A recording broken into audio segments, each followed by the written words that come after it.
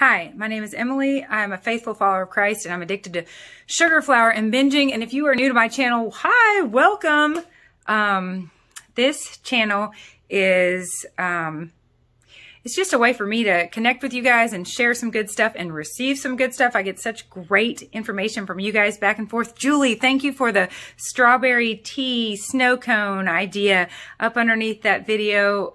I think it's the video that I changed and the title says 10 Days of Detox Part 1, which I kind of cracked up laughing. My before and after picture makes it look like that's what I achieved in 10 days. No, I've been following Bright Line Eating for um, over 21 months now. My channel here is uh, in large part my experience of following both Bright Line Eating and Jesus Christ. And, um, and I'm glad to share that because when we want to lose weight, we're in a pretty, a lot of us are in a very vulnerable place.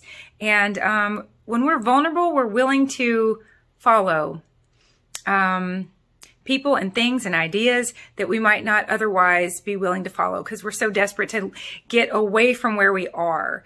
But um, it's very important to um, know where we're going, um, not just where we're leaving, or we could leave where we were and end up somewhere even worse. So I'm glad to show you all uh, and share my experience of following both Bright Line Eating and Jesus Christ um, because ultimately I'm headed to heaven. This is just me navigating this human experience, which I need loads of help. And Jesus Christ is the number one example of how to navigate being human. Am I right? It's tricky. Um, so um, expect the unexpected if you follow, if, if you subscribe to my channel, um, there will be tidbits of stuff like this, how to cook, how to cook bacon, um, how I cook bacon.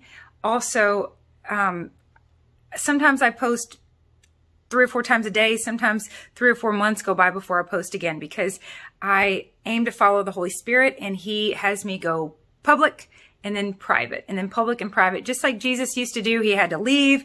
Um, there's scripture about him being out um, with the masses, with the crowds, but then he would he would leave and he would go spend time alone in the mountains praying to God. So um, part of me navigating this um, this human experience in this bright line eating journey is discerning um, when to be out there and when to be sharing and when to be connecting and when to when to pull back so that um, I can hear.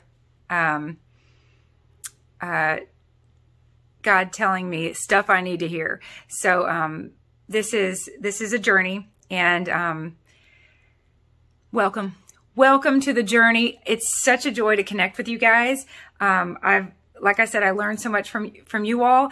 You will see my videos. I try not to edit because I don't want to stare at my phone. I just want to share good stuff with you all and get off my phone and um, connect with people around me. So um, I like the quote, the most important person in your life is the person right in front of you. And I often have little kids right in front of me. So my husband and I are um, raising our five kids on this farm.